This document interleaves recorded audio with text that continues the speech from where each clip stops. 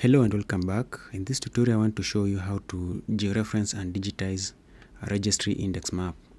So for those who have never seen uh, RIM or uh, what we refer as uh, registry index map, this is how it looks like and uh, so you can see that uh, every portion of land is assigned uh, a parcel number. So this is what we're going to georeference today and uh, at least uh, this one has got uh, uh, grids and the coordinates. So we have the grids on the we have the northings on this uh, left hand side or right hand side. Uh, and then we have the eastings that are running from these eastings are at the bottom of this map. So those are we are going to utilize them and uh, I have already identified four control points. I have the first one here of which I'm going to call A. I have the second one here B. And uh, this one I've called it C. And the last one is D. So what I did I just uh, I just typed uh, the coordinates of these controls inside Excel so that uh, I'm going to import the points in the Civil 3D so that you can plot the points and then uh, georeference the map so this is the first uh, point which which I called A and these are the coordinates the northings and the eastings and then uh, as I said the second one is B uh, C D. So now that we have this uh, let's see how to uh, import these points in Civil 3D so there there is a format that you need to uh, to use. So we're going to convert this to uh, comma delimited as I've mentioned in several of my previous videos. So go to save as and then uh, go to where you want to save the uh, CSV uh, I'll, I'll leave the name as uh, it is and then I'm going to change the file type to uh, CSV comma delimited then I'm going to click save. But here uh, at the header are, I want to add some few uh, headings. Uh, let's call that elevation.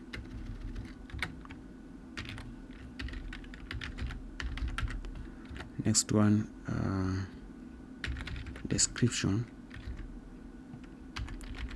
or name.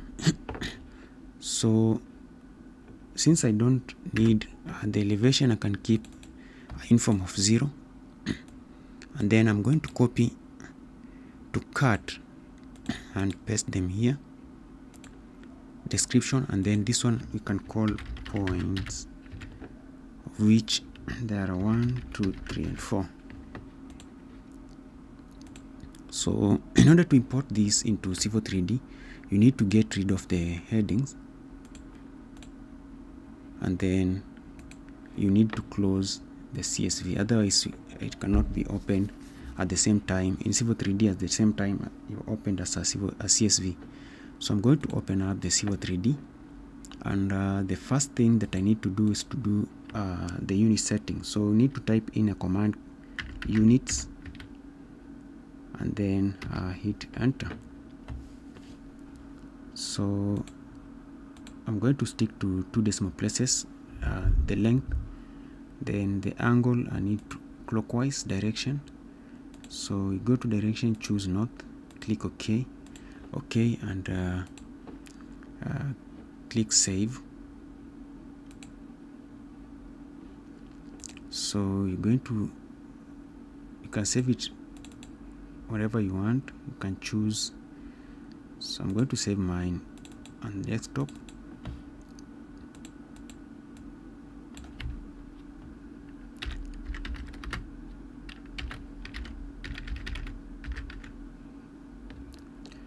Then I'm going to click save. Now I need to import uh, the points. In order to import points in Civil 3D uh, click on points at the top of at the top here. You have this points tab click on it scroll down to import stroke export and choose import. So you need to specify the point format and uh, ours is uh, point northing easting elevation and description. Then click the green plus navigate to the location where you have your points uh, click it and then click open. So if you see this uh, tick you know that uh, your points are safe and you can also have a preview of all those points at the bottom here. So just go to ok and then type ZE for zoom extend. And you can see the points are really small because of scale. So we need to customize. You can see at the at the bottom here the scale is uh, the annotation scale is 1000 and uh, we need to change that. Just click on that small triangle and then go to customize. So if click on 1000 you can see that uh, one paper millimeter is equivalent to one drawing meters which means uh, let's have a look at uh, this one. So the scale of this RIM is uh, 1 is to 1000 so here we need to have uh, 1 to is 1000 and you can see that the maximum scale is 1 is to 5000 so which means the if one paper millimeter is equivalent to one drawing meters for uh, 1000 it means for uh, 1 is to 10000 we have uh, drawing uh, dr one 10 drawing meters. So click add then we name our scale which is 1 to 10,000 and then the paper unit is 1 and then the drawing units you now change that to 10 click ok and click ok. So if you now change this scale to 10,000 you can see now we have uh, the points are now looks good. So select all these points then go to properties I need to change the style. Uh, go to style and then I can choose any style. So uh, then click apply and ok. Then okay another thing we need to change is the point label. We need to add point labels. I'm going to add description only and uh, under annotation we click uh, this one to open the text launcher text style launcher then I'm going to change the the uh, font family to Times New Roman and then click apply then close. So we have these points. Now we are going to use these points to georeference uh, to georeference the RIM so the next step is to import uh, the map.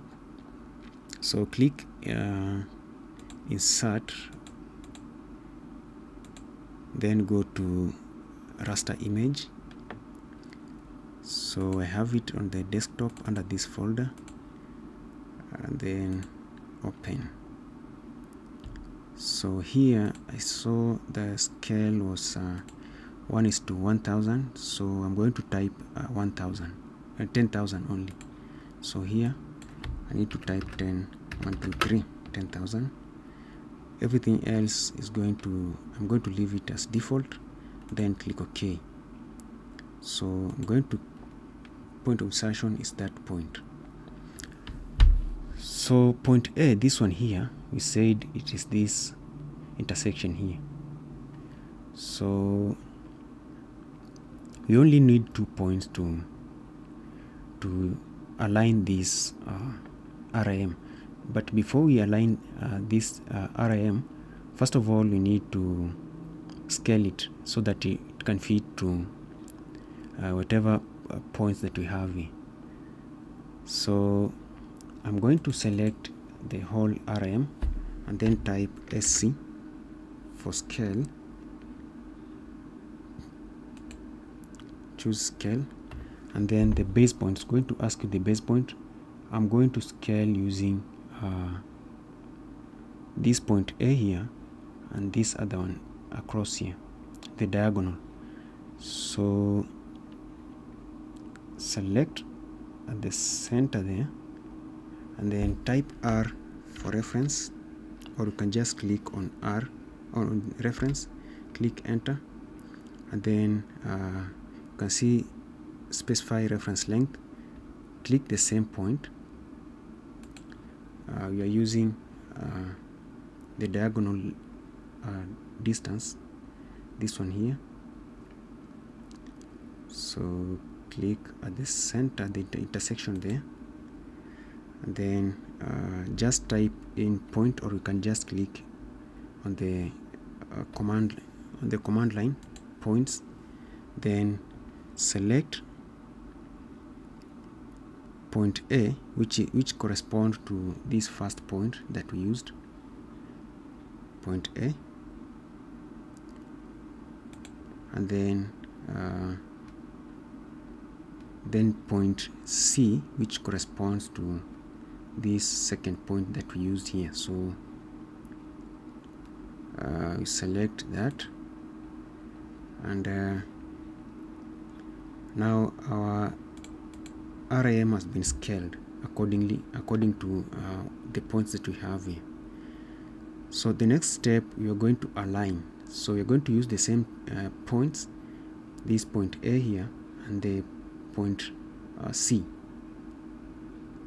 So we say we, we're not to align we are going to rotate. So select again the uh, RIM and type RO and hit enter. So the base point uh, this is the first point here. Uh, click R for reference enter. So uh, specify the reference angle click that point there. So that, that you can specify the azimuth or the angle of uh, between these two lines be between these two points. Select this uh, point C. Ag again uh, type P for point and hit enter. And then we go for the reference uh, points which are A. And then uh, C. And uh, now our, our map is uh, properly rotated now what we can do uh, we only need to align this or to overlay this uh, over over the points. So select uh, the map again and type align. Align and hit enter. So again I'm going to use the same points. Uh, so the first source point is A this point here and uh, click the first point. We only need two points in Civil, in Civo3 in AutoCAD. Not like in ArcGIS where we need at least uh, three points. So select the second point which is uh, C here and hit enter. And then uh, say yes. Just click on yes. Now our image has been moved over the points now select the the RIM right click and uh, under display order send to back. Now you can see we have our points right there. So we have our points. You can see though this one moved uh, a little bit also this one. So which means uh, the map was uh, uh, actually has some distortion because of uh, maybe scanning. But uh, it looks fine. Now the, the second phase or the second process is to digitize. So I want to digitize these parcels using line. So just you can either type line or just select line create line and uh, start digiti digitizing. So from this point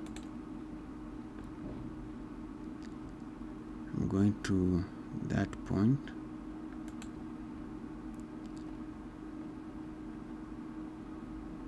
And then uh,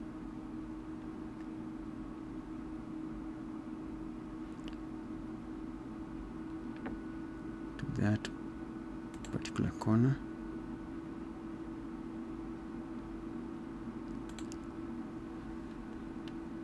then uh, select end point there.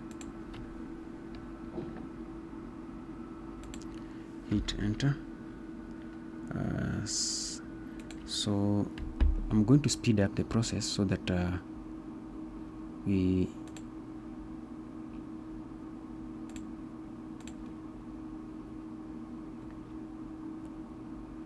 so guys I'm going to speed up this process and uh, I'll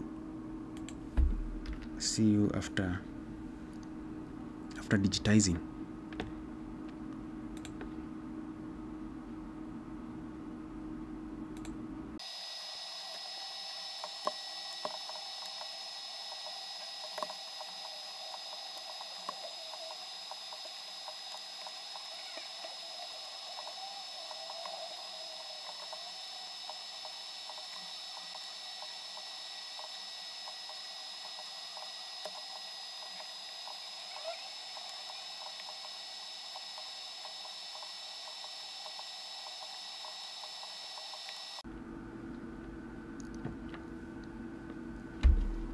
so I've just finished digitizing these uh, parcels.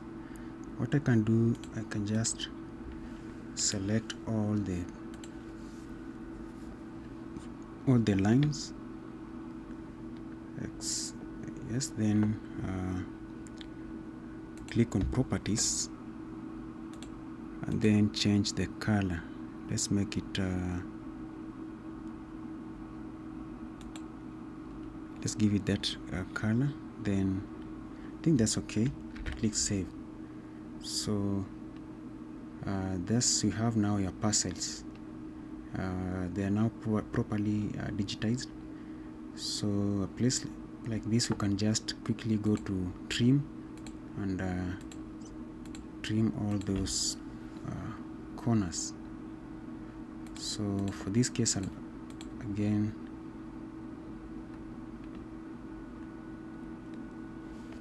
uh, I'll just speed up again so that uh, it don't take so much time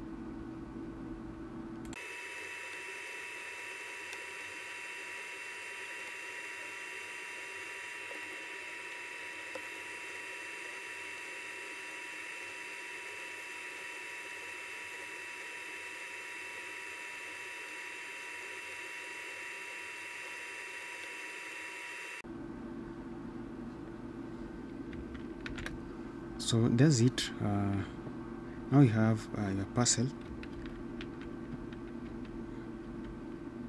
Now you have your parcel and uh, that's how you can actually georeference and digitize uh, what you call a registry index map.